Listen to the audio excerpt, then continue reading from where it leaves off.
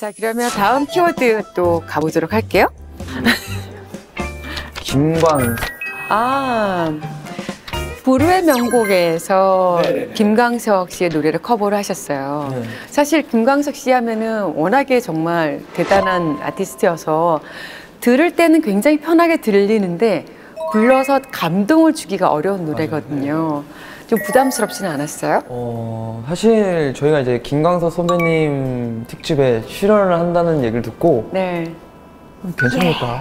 괜찮을까 싶으면서도 아. 어, 되게 기쁘기도 했죠. 근데 네. 물론 기쁜 것보다는 솔직히 걱정이 좀 더 컸어요. 잘할 근데, 수 있을까? 네, 무엇보다 저희 아버지가 김광석 선배님을 너무 좋아하셔서 어, 아버님도 음악을 많이 좋아하셨어요. 네, 저희 그 집안이 좀 다 음악에 좀 아, 많이 노출이. 잘 돼 있었어요. 그래서 어렸을 때 저는 초등학생 때, 뭐 중학생 때 이때부터 이제 김광석 선배님 노래를 많이 들었어요. 아버지가 아. 이제 노래방 가면 맨날 김광석 선배님의 노래 부르시고 네. 그래서 그것 때문에 배워서 아빠랑 또 노래방에서 같이 불러보고 음. 그랬었거든요. 근데 그 선배님의 이제 특집에 네. 저희가 나가서 이제, 이제 노래를 불러야 되잖아요.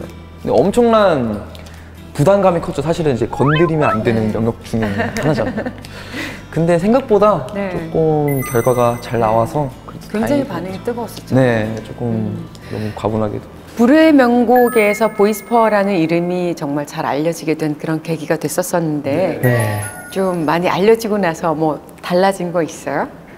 아무래도 길거리에서 이제 알아봐 주시는 예. 연령대가 좀 다행이죠, 다양해졌다. 아 진짜. 제가 은행에 갔는데 은행 직원분께서 알아보시고서 음. 저 은행 그때 계좌를 개설하러 갔는데 갑자기 휴지를 주시는 거예요. 아. 아, 이거 사은품인가 했는데 알아보시고서 와. 이거 선물이라고. 너무 진짜 기분 좋지 않아요? 왜냐면 그 전에 사실 광호가 그 은행을 처음 간 게 아니라 네. 그 전에 갔을 때는 못 알아보셨어요. 아 진짜. 근데 이제 불의 명곡 조금 나오고 이제 가, 서아 그때 이제 불의 명곡을 봐주시고 이렇게 아. 그 후에 알아 은행 갈. 때 헤어랑 하고 갔다 안 하고 갔다? 아 그때 안, 안 하고 갔죠. 아 이제 내추럴을 갔는데. 어디 어디서 본 것 같았어 이러면서 이렇게, 아. 이렇게 또 알아봐 주시더라고요. 사실은 요즘 아이돌의 인기가 정말 엄청나잖아요. 그런 속에서 지금 보이스퍼가 태극기를 딱 꽂았어. 근데 보이스퍼만의 어떤 생존 전략? 어떤 것들이 있을까요? 일단은 보컬 그룹 자체가 네. 그렇게 요즘에 많이 없어요. 그래서 되게 좀 안타깝기도 한 것도 있지만 저희만의 생존 법칙이라 그러면 네. 어 저희를 보면 솔직히 좀 멋있진 않아요.